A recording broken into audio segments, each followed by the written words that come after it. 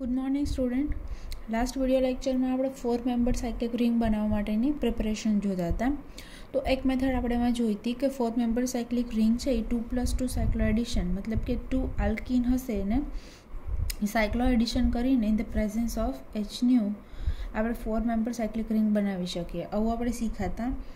હવે એના રિલેટેડ આપણે એક કે બે એક્ઝામ્પલ જોઈ લઈએ, ત્યારબાદ સેકન્ડ મેથડ જોઈએ કે કઈ રીતે ફોર મેમ્બર સાયકલિક રિંગ બનાવી શકાય છે. ઓકે. આ એક તમારો ટાર્ગેટ મોલેક્યુલ છે. હવે આમાં તમને જો પહેલાં તો સ્ટ્રક્ચર કઈ રીતે છે એ આપણે સમજવું પડશે. પહેલાં ફાઇવ મેમ્બર એક રિંગ છે. જેને હું આ રીતે ડાર્ક કરીને બતાવું. આ એક ફાઇવ મેમ્બર રિંગ છે.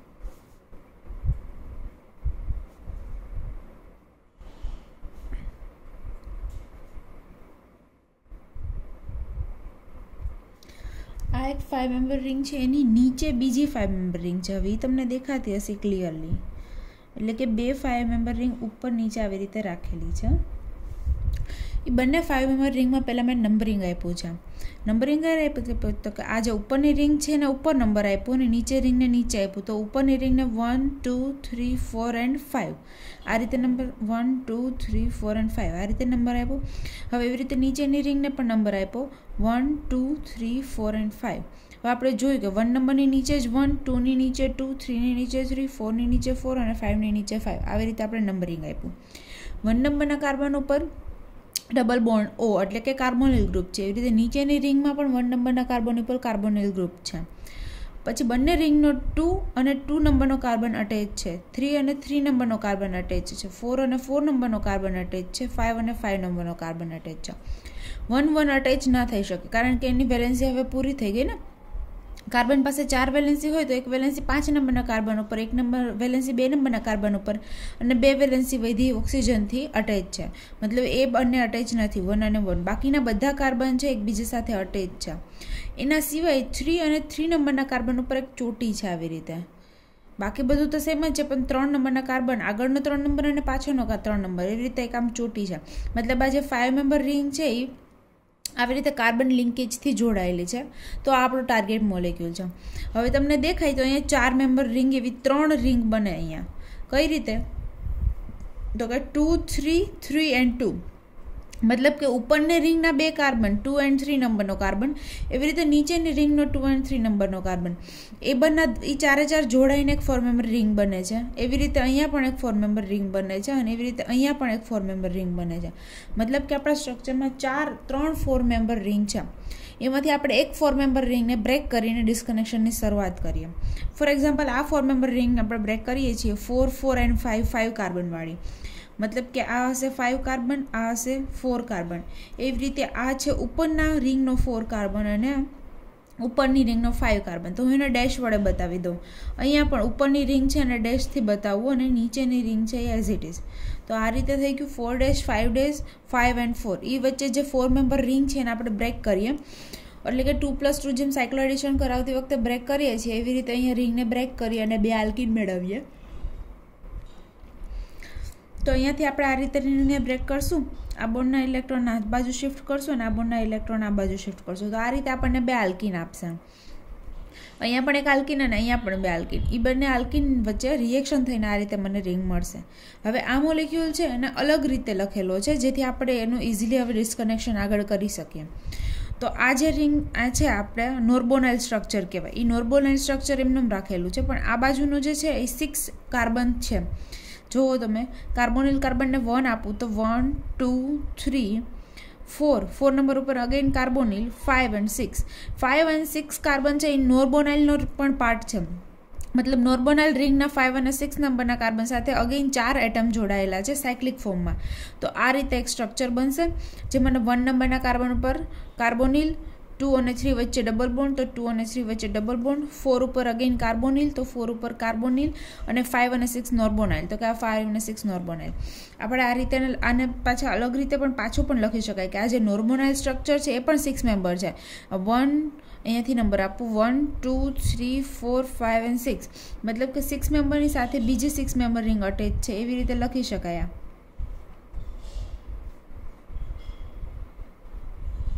લખ્યું. તો હવે વન નંબરનો carbon two three four and five two three ઉપર ડબલ બોન્ડ મતલબ કે આ ટુ થ્રી ઉપર ડબલ બોન્ડ અને વન અને ફોર ઉપર એક ચોટી. મતલબ આ વન અને આ ફોર ઉપર ચોટી. તો એને આવી રીતે લખી શકું. અહીંયા એક કાર્બન આવશે તો આ સ્ટ્રક્ચરને આવી રીતે પણ લખી શકાય, આ સ્ટ્રક્ચરને આવી રીતે પણ લખી શકાય અને આ સ્ટ્રક્ચરને આવી રીતે પણ લખી શકાય.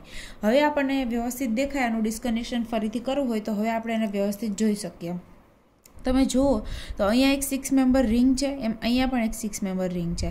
એ સિક્સ મેમ્બર રિંગમાં અહીંયા પણ આલ્કિન છે, અહીંયા પણ આલ્કિન છે. એ બંને આલ્કિન જોઈન્ટ થઈને તો આ સ્ટ્રક્ચર આપેલું છે. બરાબર ને? એ બંને આલ્કિન વચ્ચે સાયક્લોડિશન રિએક્શન થઈને આપણે આ સ્ટ્રક્ચર મેળવેલું છે. હવે એમાંથી આપણે ફોર મેમ્બર રિંગ બ્રેક કરી, મતલબ કે આ રીતે આપણને મળી ગયું. હવે આમાં આપણે જો તો સિક્સ મેમ્બર રિંગમાં અનસેચ્યુરેશન છે. તો ચેક કરી એની થર્ડ પોઝિશન ઉપર ઇલેક્ટ્રોન વિડ્રોઈંગ ગ્રુપ હોય, તો ડાયલ રિએક્શન કરાવશું. તો ચેક કરીએ આપણે અહીંયા one two and three three ઉપર કોઈ ઇલેક્ટ્રોન વિડ્રોઈંગ ગ્રુપ નથી. વન ટુ એન્ડ થ્રી અહીંયા પણ થ્રી ઉપર કોઈ વિડ્રોઈંગ ગ્રુપ નહીં, ઉલટાનું રિલીઝિંગ ગ્રુપ છે. તો આપણે આ રિંગમાં ચેક કરીએ. વન ટુ એન્ડ થ્રી ત્રણ નંબરના કાર્બન ઉપર કાર્બોનિલ ગ્રુપ હોવાથી અહીંયા નીચે પણ વન ટુ એન્ડ થ્રી ત્રણ નંબરના કાર્બન ઉપર કાર્બોનિલ ગ્રુપ હોવાથી અહીંયા ઇલેક્ટ્રોન વિડ્રોઈંગ ગ્રુપ છે એવું આપણે કહી શકાય. જેથી આપણે ડાયલ રિએક્શન ઓપરેટ કરાવી હોય તો કરાવી શકાય. તો અહીંયા આપણે કરાવશું રિટ્રો ડાયલ રિએક્શન અને રિટ્રો ડાયલ કઈ રીતે થાય આપણને આવડે જ છે.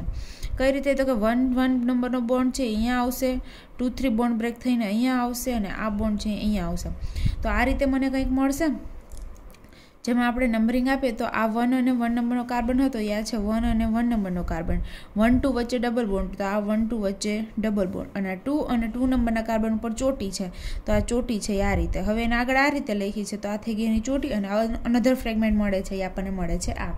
તો આટલી રીતે, આવી રીતે આનું ડિસ્કનેક્શન કરવાનું હોય છે. મતલબ શું કરશું? તો કે ફોર મેમ્બર રિંગ બ્રેક કરશું, પછી એને સિમ્પલ રીતે સ્ટ્રક્ચરને રિપ્રેઝેન્ટ કરશું, જેથી આપણે આગળ એનું ડિસ્કનેક્શન કરી શકીએ. તો બસ એનું આગળ ડિસ્કનેક્શન કર્યું કર્યું તો આપણે રિટ્રો ડાયસાઇડર રિએક્શન કરાવીને આ છે મને ડાઇન અને આ છે મને ડાઇનોફાઈ આ રીતે મળે છે. હવે આની પ્રિપરેશન જોઈએ. તો પહેલાં કરાવશું four plus two cyclo addition of Diels Alder reaction and then two plus two cyclo addition તો આપણને આ સ્ટાર્ટિંગ મટીરિયલ અથવા તો કહી શકાય કે આપણી પ્રોડક્ટ છે એ ટાર્ગેટ મોલિક્યુલ મળી જશે. જો સિન્થેસિસ પાર્ટ આ ડાઇન છે, આ ડાઇનોફાઇલ છે. કઈ રીતે રિએક્શન થશે? તો કે આ બોન્ડ છે અહીંયા અટેક કરશે. તો આ પાઇડેન્સિટી અહીંયા એટેક કરશે અને આ પાઇડેન્સિટી આ બોન્ડ ઉપર શિફ્ટ થશે. તો આને કહેશું four plus two cyclo addition Diels Alder reaction તો આ રીતનું આપણને કંઈક મળે છે. આ મતલબ કે આ સ્ટ્રક્ચર લખી દીધું. હવે આ સ્ટ્રક્ચરને ફરીથી આ ફોર્મમાં લખ્યું, જેથી આ બંને ડાઇન વચ્ચે સોરી આ બંને આલ્કિન વચ્ચે આપણે રિએક્શન કરાવી શકીએ. તો એને ફરીથી આ ફોર્મમાં લખ્યું. જેથી આલ્કિન બંને પાસે પાસે આવી જાય, તો એ બંને વચ્ચે આપણે રિએક્શન કરાવી શકાય. એચન્યુ કન્ડિશન એને આપવાથી એના વચ્ચે ફોર મેમ્બર સાયક્લિક રિંગ બની જાય. કઈ રીતે ફોર મેમ્બર સાયક્લિક રિંગ બનશે? તો કે આ ઉપરનો કાર્બન છે, હવે એવી રીતે આ પણ ઉપરનો કાર્બન છે, તો આ આના પર એટેક કરશે અને આ કાર્બન આના ઉપર એટેક કરશે. તો આ રીતે અહીંયા ફોર મેમ્બર રિંગ એટલે કે ટાર્ગેટ મોલિક્યુલ મળશે. હજુ એક એક્ઝામ્પલ જોઈએ આને રિલેટેડ આપણે. જો આ સિમ્પલ એક્ઝામ્પલ આ એક્ઝામ્પલ તમારે હોમવર્કમાં કરવાનું રહેશે. અહીંયા એક ફોર મેમ્બર સાયક્લિક રિંગ આપણને દેખાય છે. આપણે એને બ્રેક કરીએ. મતલબ કે આ બોન્ડના ઇલેક્ટ્રોન છે એ આ બાજુ શિફ્ટ થશે અને આ બોન્ડના ઇલેક્ટ્રોન આ બાજુ શિફ્ટ થશે. તો આ રીતે આપણને બે સ્પીસીસ મળશે. બસ જનરલી આ એનાલિસિસ થઈ ગયું. તો હવે એનું આપણે પાછું ફરીથી સિન્થેસિસ કરી દેવાનું છે. બંને વચ્ચે four plus two cyclo addition reaction કરાવીને સિન્થેસિસ કરી દેવાની છે. તો આ તમારે જે મોલેક્યુલ છે એ જાતે કરવાનો રહેશે. હવે આપણે જોઈએ. Okay four plus two cycle એડિશનનું analysis મેં તમને કરાવી દીધું, સિન્થેસિસ તમારા જાતે કરવાની રહેશે. આના પછી જોઈએ one more new example okay look at this example four member ring by the ionic interaction શું કહેવા માગે છે એ આપણે સમજીએ અને કઈ રીતે રિએક્શન થાય છે એ પણ આપણે સમજીએ. પણ એના માટે પહેલાં રિએક્શન જોઈ લઈએ. આ રીતે આપણને આપેલું છે એટલે કે અહીંયા એક ડાઇન છે ને અહીંયા પણ એક ડાઇન છે. બરાબર છે? મતલબ આ બંને વચ્ચે આપણે રિએક્શન કરાવશું. અને ઓરિએન્ટેશન આપણને ખબર છે કે અહીંયા પોઝિટિવ છે અને અહીંયા પણ પોઝિટિવ છે. પણ જ્યારે આપણે નેચન્યુ એટલે કે હીટ આપશું તો શું થશે? તો કે એનર્જી એબ્ઝોર્બ કરીને એની પોલારિટી ચેન્જ કરશે. મતલબ કે positive will be converted into negative તો અહીંયા લખેલું છે after excitation reversible reversal of polarity મતલબ કે positive will now converted into negative તો અહીંયા આ બે વચ્ચે રિએક્શન કરાવશું તો આના પર અટેક કરશે, આના પર અટેક કરશે. તો આ રીતે આપણને પ્રોડક્ટ મળવી જોઈએ. પણ આ રીતે પ્રોડક્ટ મળતી નથી. તો પ્રોડક્ટ કઈ રીતે મળે છે? તો કે આ રીતે રિએક્શન થાય છે. આ બંને વચ્ચે રિએક્શન થઈને આ રીતની પ્રોડક્ટ મળવી જોઈએ. પણ એ રીતે પ્રોડક્ટ નથી મળતી. પ્રોડક્ટ આ રીતે મળે છે. મતલબ કે એ પ્રોડક્ટ આપણને નથી મળતી. બી પ્રોડક્ટ મળે છે. ખરેખર મળવી જોઈએ પ્રોડક્ટ નંબર એ શું કામે એ પણ અહીંયા આપણને કીધું છે. This is the example of intramolecular Diels Alder reaction એટલે કે intramolecular dialectic within the molecule બંને ડાઇન આપેલ સોરી વિધિન ધ મોલેક્યુલ બંને આલ્કીન આપેલી છે. અત્યાર સુધી આપણે એવા એક્ઝામ્પલ જોયા હતા કે બંને અલગ અલગ હોય ને એનું આપણે કોમ્બિનેશન કરાવીને, એટલે કે એના વચ્ચે two plus two cyclo addition કરાવીને આપણે ફોર મેમ્બર સાયક્લિક રિંગ બનાવતા હોઈએ. પણ આ એવું એક્ઝામ્પલ છે કે મોલેક્યુલની અંદર જ બંને આલ્કીન આપેલું છે, જેના વચ્ચે આપણે રિએક્શન કરાવવાની છે. તો આપણે રિએક્શન કરવા માટે શું કર્યું? તો કે અહીંયા પોઝિટિવ ને પોઝિટિવ છે. જ્યારે આપણે એચનું કન્ડિશન આપીએ તો એની પોલારિટી ચેન્જ કરીને અહીંયા નેગેટિવ આવશે. મતલબ અહીંયા નેગેટિવ ને અહીંયા નેગેટિવ એવી રીતે થાય. તો આપણે આને ઊંધું કરીને પોઝિટિવ નેગેટિવ લાવીને રિએક્શન કરાયું. પણ એવી રીતે આમ કરાવીએ તો આ પ્રોડક્ટ મળવી જોઈએ, પણ એ પ્રોડક્ટ મળતી નથી. તો શું થતું હશે અંદર? તો કેમ the rule of proper orientation of the electrophilic atom do not follow in this intramolecular reaction. એટલે કે જે આ ઇન્ટ્રામોલેક્યુલર રિએક્શન છે, એમાં પોઝિટિવ નેગેટિવ એટલે કે પ્રોપર ઓરિએન્ટેશનવાળો આપણે રૂલ જે અત્યાર સુધી ફોલો કરીએ છીએ, એ આમાં ફોલો થતો નથી. શું કામે it is because it is impossible for the starting material to convert it self into required orientation મતલબ કે જે સ્ટાર્ટિંગ મટીરિયલ છે, એને આ રીતે, મતલબ અહીંયા આપણે જોયું ને, આવી રીતે એને ઓરિએન્ટ કરવું કેટલું છે? અઘરું પડે છે. એટલે કે ઇમ્પોસિબલ છે. સ્ટાર્ટિંગ મટીરિયલને આ રીતે કન્વર્ટ કરવું. So that hence be form in a major amount which is sterically more relax than એ મતલબ કે એ ફોર્મ થવું જોઈએ એની જગ્યાએ બી ફોર્મ થાય છે, જે સ્ટેરિકલી મોર રિલેક્સ છે. મતલબ કે આમાં એટલું બધું સ્ટ્રેન નથી જનરેટ થતું. આ પ્રોડક્ટ છે, એમાં પણ સ્ટ્રેન વધારે જનરેટ થાય છે. કારણ કે અહીંયાથી ફોર મેમ્બર રિંગને આખું ઉપરની સાઈડ જવું પડે, મતલબ કે આ રીતે રિંગ બને. તો અહીંયા સ્ટ્રેન પણ વધારે છે અને આ મોલેક્યુલ છે, એ પોતાની સેલ્ફને એવી રીતે ઓરિએન્ટેડ પણ નથી કરી શકતો. એટલા માટે થઈને એ પ્રોડક્ટને પણ be product as a major આપણને મળે છે. અને બી પ્રોડક્ટ કઈ રીતે બને તો આપણને ખબર છે. કઈ રીતે તો કે આ કાર્બન છે એ આના ઉપર એટેક કરશે અને આ કાર્બન આ રીતે એટેક કરશે. તો સિક્સ મેમ્બર રિંગ બનવાની બદલે અહીંયા one two three four and five member ring બનશે. છે. જેની સાથે એક ફોર મેમ્બર રિંગ અને અગેન એક સિક્સ મેમ્બર રિંગ મતલબ ફાઇવ ફોર અને સિક્સ મેમ્બર રિંગ આ રીતે આપણને પ્રોડક્ટ આપશે. ઓકે અહીંયા સુધી આપણે જોઈ લીધું. હવે જે સેકન્ડ મેથડ છે ફોર મેમ્બર રિંગ બનાવવાની એ આપણે જોશું. ઓકે, શું છે? પહેલાં એક મેથડ આપણે જોઈ લીધી કે ટુ પ્લસ ટુ સાયક્લો એડિશન કરાવીને આપણે ફોર મેમ્બર સાયક્લિક રિંગ બનાવી શકાય. હવે બીજી પોસિબિલિટી આપણી પાસે પણ છે. મતલબ કે બીજી મેથડ પણ છે સેકન્ડ મેથડ કે જેનાથી ફોર મેમ્બર સાયક્લિક રિંગ બનાવી શકાય. એ આપણે અહીં આગળ જોશું. One strategy for four member ring synthesis would be the ring expansion and ring contraction. મતલબ એક પણ આપણે એવું પણ કરી શકીએ કે રિંગ એક્સપાન્ડ મતલબ કે થ્રી મેમ્બર રિંગ છે એનું એક્સપાન્શન કરીને ફોર મેમ્બરમાં કન્વર્ટ કરી શકાય અથવા ફાઇવ મેમ્બર રિંગ હોય એનું આપણે કોન્ટ્રાક્શન કરીને ફોર મેમ્બરમાં કન્વર્ટ કરી શકાય તો આ એક બીજી પણ મેથડ આપણી પાસે છે પણ હવે પ્રોબ્લેમ શું હશે તો contraction of five member ring to four member ring but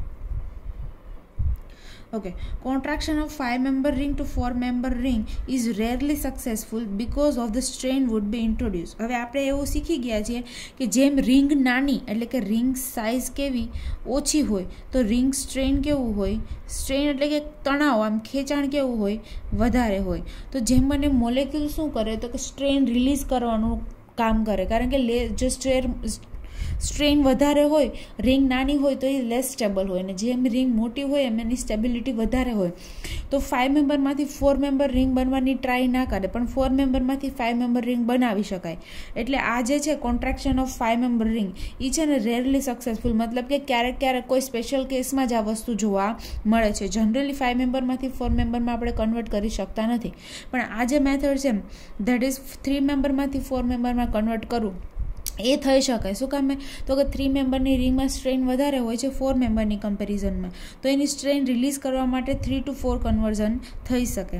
The expansion of three member ring to four member ring એટલે કે આ છે એ થઈ શકે. Three member ring is already strain કારણ કે એમાં સ્ટ્રેન વધારે હોય છે and it is easy to make the expansion મતલબ કે એનું એક્સપાન્સન કરીને એને ફોર મેમ્બરમાં કન્વર્ટ કરવી ઇઝી છે.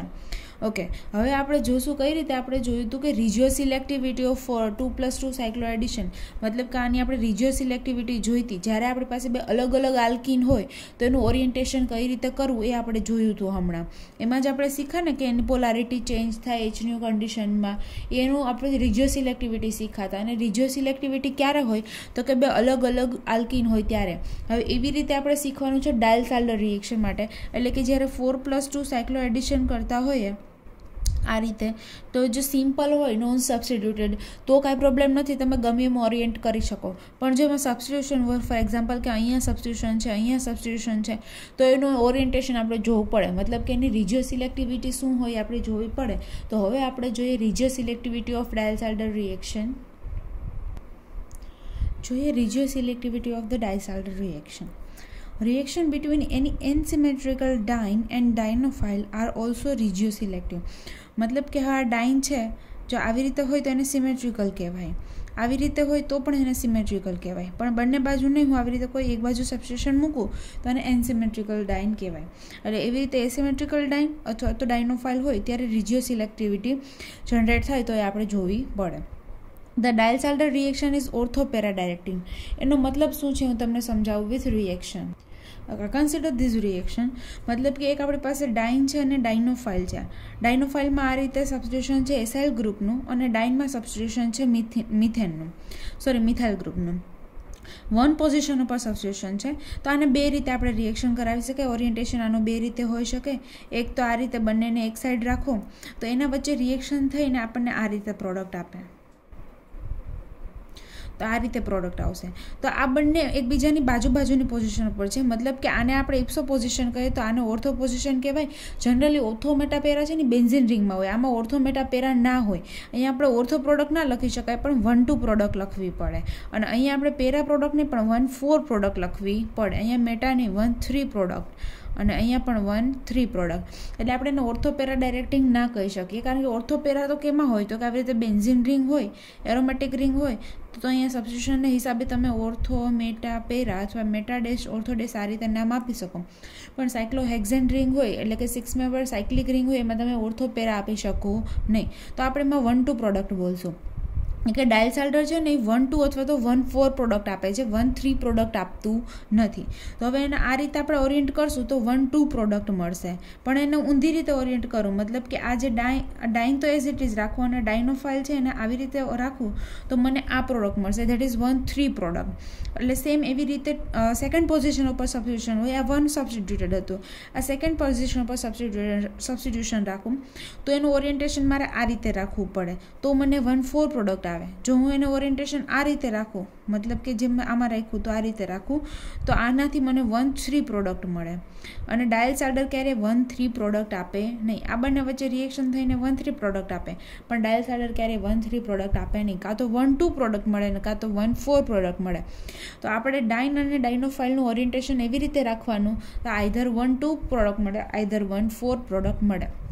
તો આ છે regioselectivity of the Diels Alder reaction orientation like para and ortho આપણે એને કહીશું orientation like one four and one two is stable and generally prefer in Diels Alder reaction and meta position આપણે એને કહીશું one three product one three product can not be main made like this way મતલબ one three product છે આ રીતે બનતી નથી. આ છે રિજિયો સિલેક્ટિવિટી ઓફ ડાયલસાલ્ડર આ રિએક્શનનો યુઝ આવશે. મતલબ કે આ રિજિયો સિલેક્ટિવિટીનો યુઝ આવશે શેમાં? તો કે આપણે હવે પ્રિપેરેશન જોવાની છે ફોર્મ્યુલર cyclic ring via ring expansion મતલબ કે થ્રી મેમ્બર રિંગ હશે, એનું એક્સપાન્શન કરીને ફોર મેમ્બર રિંગમાં આપણે જ્યારે જશું ત્યારે આ રિજિયો સિલેક્ટિવિટીનો યુઝ આવશે. એટલા માટે મેં તમને આ રિજિયો સિલેક્ટિવિટી કરાવી દીધી. હવે એના માટે આપણે ફર્સ્ટ એક્ઝામ્પલ જોઈએ. કે જેમાં ફોર મેમ્બર સાયકલિક રિંગ છે આપણે એનું કોન્ટ્રાક્ટ સોરી કેમાંથી બનશે ફોર મેમ્બર તો કે આપણે એવું જોઈ લીધું કે થ્રી મેમ્બર સાયકલિક રિંગનું એક્સપાન્શન કરાવીને આપણે ફોર મેમ્બર સાયકલિક રિંગ બનાવશું. આપણે જો અત્યાર સુધી કરતા હોત તો આવી રીતે કરતા હોત કે આ બોન્ડને અહીંયા શિફ્ટ કરો ને આ બોન્ડને અહીંયા શિફ્ટ કરો, આ ડબલ બોન્ડ અહીંયા આવે ને આ ડબલ બોન્ડ અહીંયા આવે, એવી રીતે, બરાબર છે? પણ હવે એવી રીતે નથી કરવાનું. આપણે આને થ્રી મેમ્બરમાં પહેલાં કન્વર્ટ કરવું પડશે ફોર ધી એનાલિસિસ તો એનું એનાલિસિસ કરું, આ બોન્ડને હું અહીંયા શિફ્ટ કરું, તો આ બોન્ડ અહીંયા આવશે. તો એઝ અ રિઝલ્ટ અહીંયા આ બોન્ડ બ્રેક થઈ જશે અને અહીંયા અટેચ થઈ જશે, મતલબ આ રીતે બની જશે. તો થ્રી મેમ્બર મેમ્બરમાંથી એક્સપાન્ડ થઈને આ ફોર મેમ્બર બની હશે. તો એના એનાલિસિસ વખતે આપણે અહીંયા સુધી પહોંચી જઈએ. જ્યાં પોઝિટિવ ચાર્જ આવ્યો, ત્યાં આપણે હાઇડ્રોક્સાઇલ ગ્રુપ મૂક્યું. એનું ફરીથી ડિસ્કનેક્શન કર્યું. અહીંયાથી ઓર કાઢી નાખજો. એનું ફરીથી ડિસ્કનેક્શન સોરી એનાલિસિસ કર્યું. તો આ જે વન ટુ હાઇડ્રોક્સાઇલ ગ્રુપ છે, એમાંથી અગેઇન એચ ટુઓ આ રીતે રિમૂવ થઈને ઇપોક્સાઇડ આવે છે. કઈ રીતે? તો કે આ ઓક્સિજન છે એના ઉપર એટેક કરશે ને અહીંયાથી ઓ અને અહીંયાથી એચ એચ ટુ રિમૂવ થઈને આ એક આપણને આપે છે. હવે આનો આપણે ફર્ધર ડિસ્કનેક્શન પણ કરી શકાય. સોરી, આનું હવે આપણે પ્રિપેરેશન કરીએ તો અહીંયાથી એની પ્રિપેરેશનની શરૂઆત કરશું, અહીંયાથી શરૂઆત નહીં કરીએ. આ સિન્થેસિસ આપેલી છે, આ સિન્થેસિસ કાઢી નાખજો. આપણે આ મોલિક્યુલમાંથી એની સિન્થેસિસ કરશું. અહીંથી સિન્થેસિસ કરીએ તો પણ સેમ જ રહીએ પણ આપણે ફર્ધર એનું ડિસ્કનેક્શન કર્યું છે, એટલે કે વન સ્ટેપ આપણે અહેડ ગયા છીએ, જે ઇપોક્સાઇડ પણ આપણે બનાવ્યું છે. એમાં ઇપોક્સાઇડમાં આપણે એક થ્રી મેમ્બર સાયક્લોપ્રોપેનેશન રિંગ પણ છે. તો આપણે આમાંથી હવે એની પ્રિપરેશન કરશું ફોર મેમ્બર સાયક્લિક રિંગની તો આપણે આમાંથી આમાંથી આ, અહીંયા તો બને, પહોંચી જ જશું. પછી આમાંથી પ્રિપેરેશન કરીએ તો પણ આ જ આવે અને આમાંથી પ્રિપરેશન કરીએ તો પણ આ જ આવે. મતલબ આ સિન્થેસિસ નહીં, આપણે આમાંથી સિન્થેસિસ જોઈએ. તો હવે આ જે છે એનું ફર્ધર ડિસ્કનેક્શન થાય છે. કારણ કે આપણને ખબર છે, આ three member cyclic ring epoxide હોય તો એને પણ આપણે બ્રેક કરી શકીએ.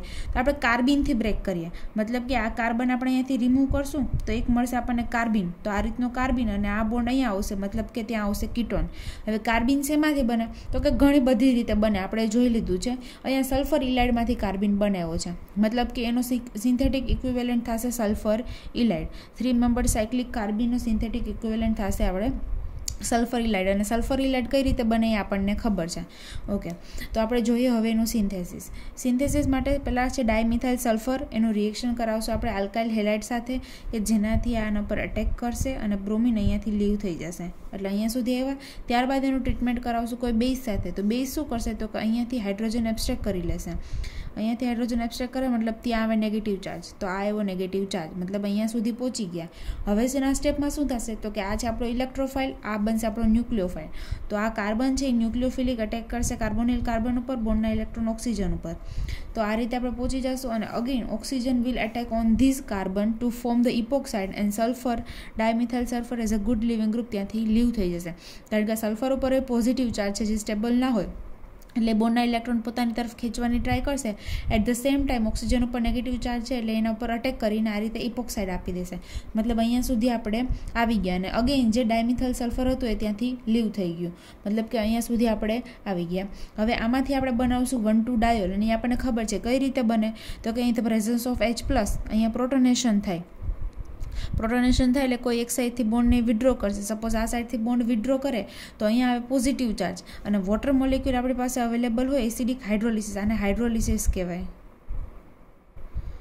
હાઇડ્રોલિસિસ એસિડિક હાઇડ્રોલિસિસ તો અહીંયા વોટર મોલિક્યુલનો ઓએચ અહીંયા આવી જાય ને એચ ઓએચ અહીંયા, મતલબ કે આપણને મળી જાય વન ટુ ડાયોલ અને વન ટુ ડાયલમાંથી કાર્બોનિલમાં કેમ કન્વર્ટ કરવાનું? તો કે પિનાકોલોન રિડક્શનથી સોરી રીઅરેન્જમેન્ટથી એ આપણને આવડે છે પિનાકોલો રીઅરેન્જમેન્ટ આપણે શીખી ગયા છીએ.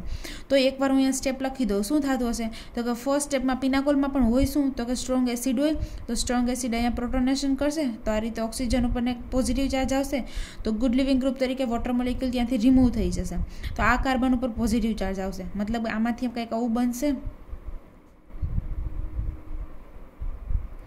એના ઉપર હશે ઓએચ અને અહીંયા આવશે પોઝિટિવ ચાર્જ અને જ્યારે થ્રી મેમ્બરની બાજુના કાર્બન ઉપર પોઝિટિવ ચાર્જ આવે, ત્યારે શું કરવાનું? તો કે રિંગ એક્સપાન્સન કરવાનું. અને રિંગ એક્સપાન્સનથી શું થાય? તો કે આ રીતે થ્રી મેમ્બર રિંગ છે, આ રીતે તો આ બોન્ડ હવે બ્રેક થઈને અહીંયા આવતો રહ્યો. અને અહીંયા ઓ એચ મતલબ આ બોન્ડ બ્રેક થવાથી હવે અહીંયા આવશે પોઝિટિવ ચાર્જ તો એને આ રીતે લખી શકાય? One two three and four મતલબ કે આ ફોર મેમ્બર રિંગ આવી રીતે લખી શકાય? જેમાં એક કાર્બન ઉપર આ બે મિથાઇલ ગ્રુપ અહીંયા હશે ઓ એચ અને અહીંયા આવશે પોઝિટિવ ચાર્જ અને લાસ્ટ સ્ટેપમાં અહીંયાથી આ એચ પ્લસ આપી દેશે અને આ રીતે મને પ્રોડક્ટ આપશે. તો આ મળી ગયો ટાર્ગેટ મોલેક્યુલ અહીંયા આર વન અને આર ટુ છે, તો અહીંયા બધે R one R two R one R two R one, R two, R one and R two. મતલબ કે આ રીતે મળશે ટાર્ગેટ મોલિક્યુલ આમે તમને પિનાકોલોન શીખવાડી દીધી. બરાબર છે? કે કઈ રીતે પિનાકોલોન રીઅરેન્જમેન્ટ થાય છે? અહીંયા ડાયરેક્ટ આપી દીધું છે કે વન ટુ ડાયલનું આપણે પિનાકોલોન રીઅરેન્જમેન્ટ કરશું. In the presence of strong acid તો three member ring will expand into four member ring that is cyclic ketone હવે એ આપણને ખબર છે.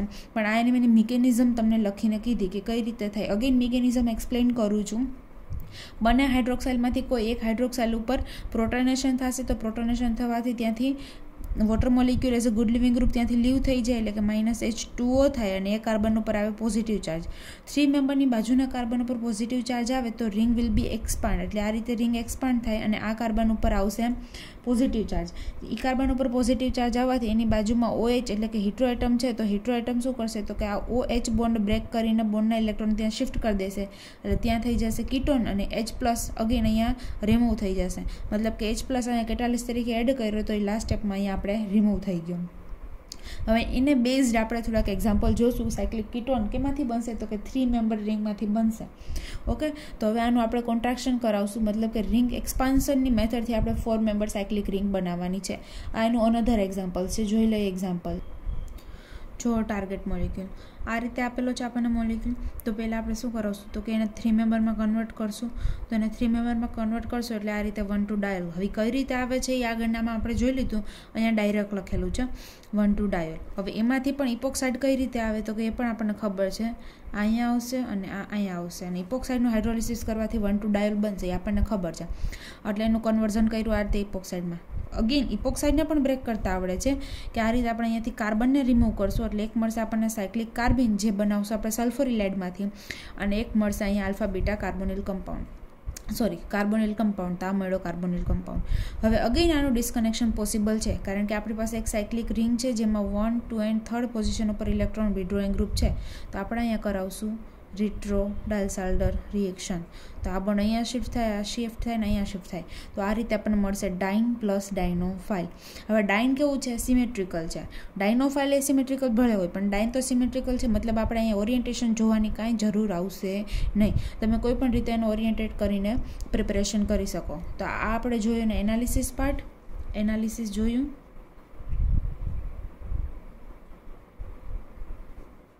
હવે જોઈએ એની સિન્થેસિસ પાર્ટ સિન્થેસિસમાં ફર્સ્ટ સ્ટેપ શું કરશું? તો કે Diels Alder four plus two cycloaddition Diels Alder reaction કરાવશું. જેનાથી આ પાઇડેન્સિટી અહીંયા અટેક કરશે, તો આ પાઇડેન્સિટી અહીંયા અટેક કરે અને આ પાઇડેન્સિટી અહીંયા શિફ્ટ થાય. તો આ રીતની પ્રોડક્ટ આવશે. હવે એમાંથી શું છૂટું પડેલું? તો કે કાર્બિન છૂટો પડેલો અને કાર્બિનનો સિન્થેટિક ઇક્વિલેન્ટ બનશે આપણો સલ્ફર ઇલાઇડ તો એનું રિએક્શન આપણે કરાવશું સલ્ફર ઇલાઇડ સાથે. મતલબ કે આ નેગેટિવલી ચાર્જ છે, એના પર અટેક કરશે અને ઓક્સિજન બોર્ડના ઓક્સિજન ખેંચી લેશે. અગેન ઓક્સિજન ઉપર નેગેટિવ ચાર્જ આવશે, તો એ નેગેટિવ ચાર્જ છે આ કાર્બન ઉપર અટેક કરશે ને સલ્ફર ડાયમિથાઇલ સલ્ફર એટલે કે અહીંયાથી એમ ટુ એસ અહીંયાથી લીવ થઈ જશે. તો આ રીતે પણ ગયું. હવે આપણે કરશું એનું એસિડિક હાઇડ્રોલિસિસ અને એસિડિક હાઇડ્રોલિસિસથી ઇપોક્સાઇડ રિંગ બ્રેક થઈ જાય. અહીંયા H plus epoxide ring break થઈ જાય અને વન ટુ ડાયોલ આપે. આ વન ટુ ડાયોલ અને એની કરાવશું pinacolone rearrangement in the presence of strong acid strong એસિડથી one two ડાયોલને આ સાયક્લિક કીટોનમાં કઈ રીતે કન્વર્ટ કરવાનો એ આપણને આવડે છે. તો આ મળી ગયો આપણો ટાર્ગેટ મોલેક્યુલ મતલબ કે આપણે આ લેક્ચરમાં આપણે સેકન્ડ મેથડ જોયા. સેકન્ડ મેથડ શીખા. સોરી આ લેક્ચરમાં આપણે સેકન્ડ મેથડ શીખ્યા કે જેમાં four member cyclo cyclic ring છે એ કેનાથી બનાવશું? તો કે via expansion of three member cyclic ring three member cyclic રિંગનું એક્સપાન્સન કરાવીને આપણે ફોર મેમ્બર બનાવશું. અને લાસ્ટ લેક્ચરમાં આપણે એવું શીખાતા ટુ પ્લસ ટુ સાયક્લો એડિશન કરીને આપણે બનાવશું. તો આ લેક્ચર આપણે અહીંયા સુધી રાખીએ. કોઈને કંઈ ક્વેરી હોય તો તમે લોકો મને પૂછી શકો છો. Thank you